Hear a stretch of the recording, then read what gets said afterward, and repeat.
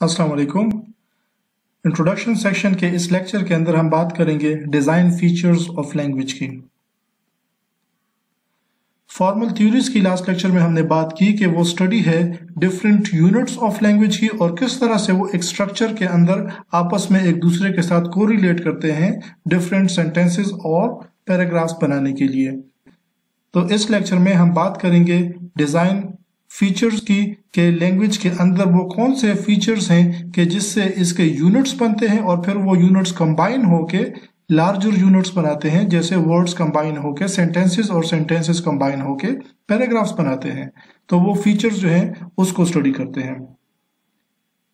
ऑर्बिट्रेरीनेस का मतलब यह है कि लैंग्वेज के अंदर एक ही चीज़ का ज़िक्र करने के लिए हमारे पास मुख्तलिफ़ अल्फाज होते हैं।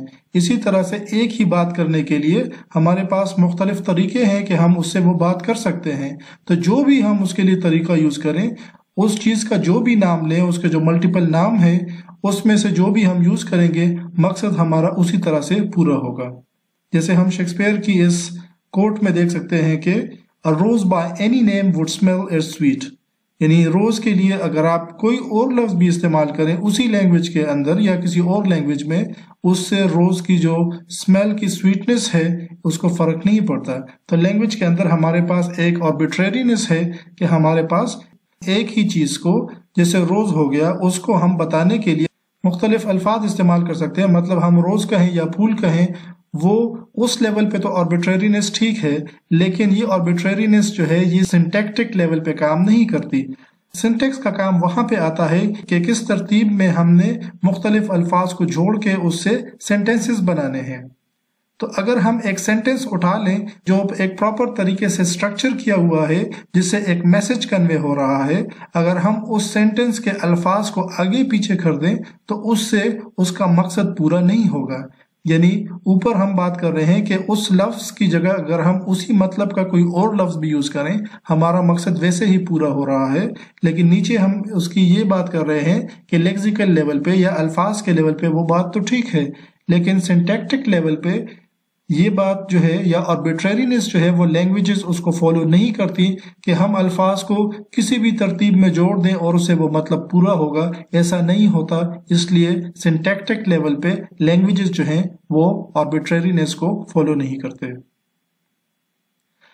एक और जो स्ट्रक्चरल लेवल पे लैंग्वेज की प्रॉपर्टी है, वो डुअलिटी है। और डुअलिटी जो है, ये काफ़ी एक पावरफुल चीज़ है इस सेंस में कि ये हमें अलाउ करती है कि हम कम अल्फाज से या कम बेसिक जिसको हम स्टेम्स कहते हैं इंग्लिश में, उससे हम ज़्यादा अल्फाज जनरेट कर सकें। मतलब आप देखते हैं कि एक लफ्ज होगा जो एक साउंड प्रोड्यूस करेगा, उसके साथ आप उसी तरह के और साउंड्स या प्रीफिक्सेस सफिक्सेस वगैरह आप उसके साथ लगाते जाएँ और उस लफ्ज का मतलब जो है, वो थोड़ा थोड़ा करके बदलता जाएगा। मतलब ओरिजिनल जो है, ये एक लफ्ज है जिसका एक मतलब है ओरिजिनलिटी अगर आप उसको कर दें, वो एक नया लफ्ज आपके पास आ गया और उसका मतलब भी थोड़ा सा बदल गया।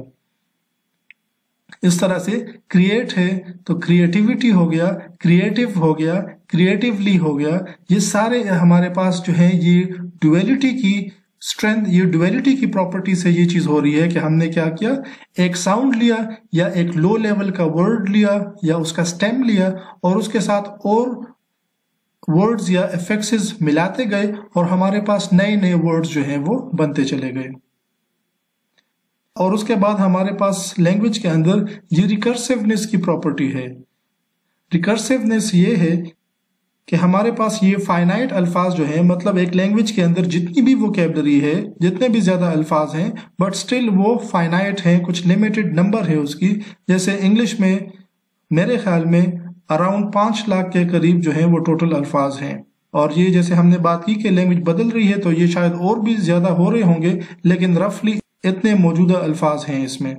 तो ये फाइनाइट अल्फाज जो हैं ये आपको अलाउ करते हैं कि आप इससे इनफाइनाइट अनलिमिटेड सेंटेंसेस जनरेट करें। और वो जो है हमारे पास रिकर्सिवनेस की प्रॉपर्टी की वजह से है कि इन अल्फाज को हर दफ़ा ये जो हमारे पास फाइनाइट अल्फाज हैं, इनको हर दफ़ा हम नए तरतीब से जोड़ते हैं, नए ऑर्डर में लाते हैं, कुछ को इस्तेमाल करते हैं, कुछ को नहीं करते, कुछ को रिपीटेडली यूज़ करते हैं, और हमारे पास जो फाइनल शेप बनती है, वो नए कंटेंट की, वो नए सेंटेंसेस और पैराग्राफ्स की, वो कम्प्लीटली न्यू होती है।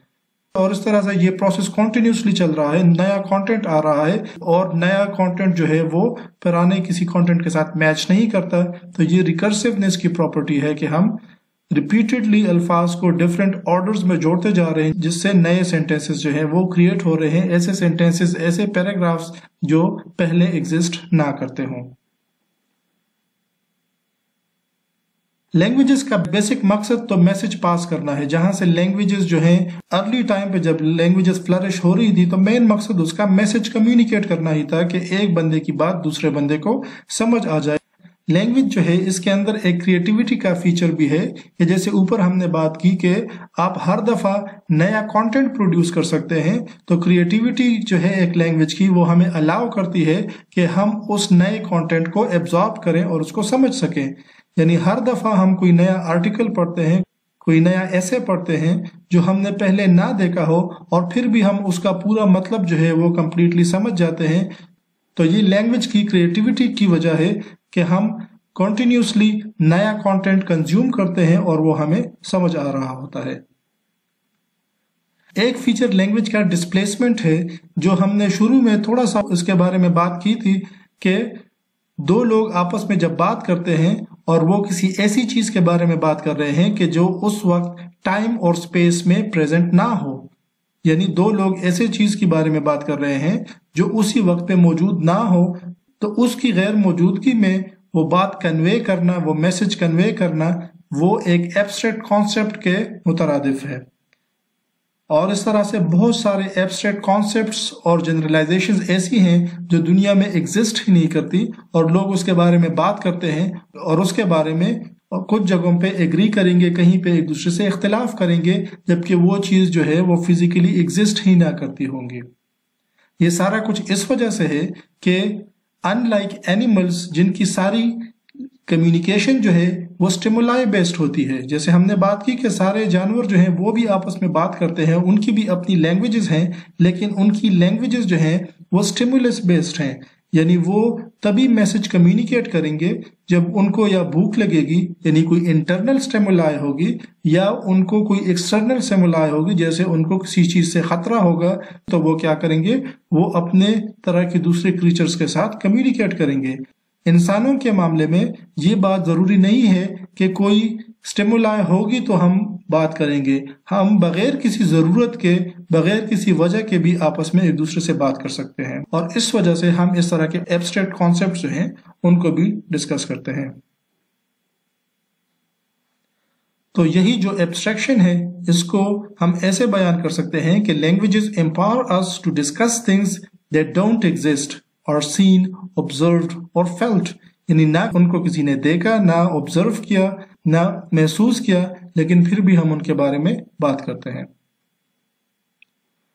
फाइनली लैंग्वेज की एक फीचर जो है वो ट्रांसफॉर्मेशन है। जैसे हमने वो हिस्टोरिकल लिंग्विस्टिक्स में बात की थी कि लैंग्वेज जो है वो वक्त के साथ बदल रही होती है और उस तरह की साइंटिफिक स्टडी जो है, जो लैंग्वेज की हिस्टोरिकल चेंज को पे फोकस हो, उसको हम हिस्टोरिकल लिंग्विस्टिक्स कहते हैं। तो लैंग्वेज के अंदर ये जो ट्रांसफॉर्मेशन है, ये भी इसका एक फीचर है कि उसके अंदर एक इर्तिका या एक चेंज का एक अमल कॉन्टिन्यूसली चल रहा होता है। तो जिस तरह से जानवर जो है या इंसान जो है, वो जेनेटिकली ट्रांसमिट होते हैं, उसी तरह से लैंग्वेजेस जो हैं, वो कल्चरली ट्रांसमिट होती हैं। यानी एक जनरेशन से दूसरे जनरेशन तक लैंग्वेज जो है, वो कल्चरल राइटिंग्स के फॉर्म में आगे जा रही होती है। और लैंग्वेजेस के अंदर ये जो डाइवर्सिटी है, ये इसी कल्चरल ट्रांसफॉर्मेशन के अंदर कभी बढ़ रही होती है और कभी श्रिंक कर रही होती है। यानी वक्त के साथ साथ लैंग्वेज जो है वो एक प्रोसेस ऑफ़ चेंज से गुजर रही होती है। और जैसे हमने बात की कि कुछ अल्फाज नए आ रहे होंगे, कुछ पुराने जो है वो डाई आउट कर रहे होंगे तो इसी कल्चरल ट्रांसफॉर्मेशन में कहीं लैंग्वेज बड़ी तेज़ी से एक्सपैंड करेगी और कहीं तेज़ी से कॉन्ट्रैक्ट करेगी। तो इसको एंड करते हैं बर्ट्रैंड रसल की इस सेइंग के साथ कि no matter how eloquent a dog barks, he cannot tell you that his parents were poor but honest. यानी उनकी लैंग्वेज जो है वो भी एक ट्रांसफॉर्मेशन के प्रोसेस से गुजर रही होगी कि डॉग्स जो हैं वो भी सालों से आ रहे हैं और वो भी आपस में बात करते हैं तो उनकी लैंग्वेज भी एक ट्रांसफॉर्मेशन के प्रोसेस से गुजर रही होगी, लेकिन फिर भी उसके अंदर इतनी डाइवर्सिटी कभी भी नहीं आएगी कि वो इस तरह की बात जो है, वो किसी को समझा सके। तो ये तरह फॉर्मल थीरीज और फीचर्स ऑफ़ लैंग्वेज शुक्रिया।